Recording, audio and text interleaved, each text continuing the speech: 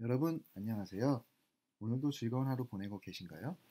오늘은 안드로이드 기기를 통해 FreeMyApps를 어떻게 사용하는지 알려드리겠습니다.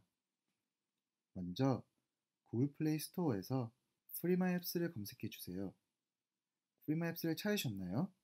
찾으셨다면 지금 바로 다운 받으시면 됩니다. 다운 받으신 후 페이스북 계정을 확인해 주세요. 혹시 문제가 생긴 경우에는 페이스북 앱이 기기에 설치가 되어 있는지 다시 한번 체크해 주시기 바랍니다. 자, 이제 FreeMyApps를 다운받으시고 계정 확인이 되셨으면 이용할 준비가 되셨습니다. offerwall에 많은 앱들 보이시죠?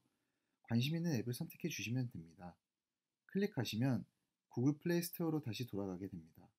그리고 여기서 다운받으시면 됩니다. 클릭한 후 꼭 48시간 안에 앱을 설치해야 하는 것을 꼭 기억해야 합니다.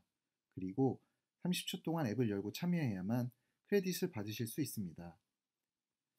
SNS를 통해서도 친구들과 공유하면 더욱더 많은 크레딧을 적립하실 수 있으니 어서 친구분들께 추천하세요.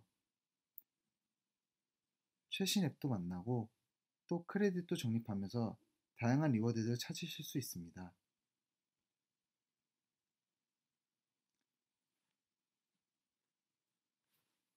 이젠 어떻게 이용하실 수 있는지 아시겠죠?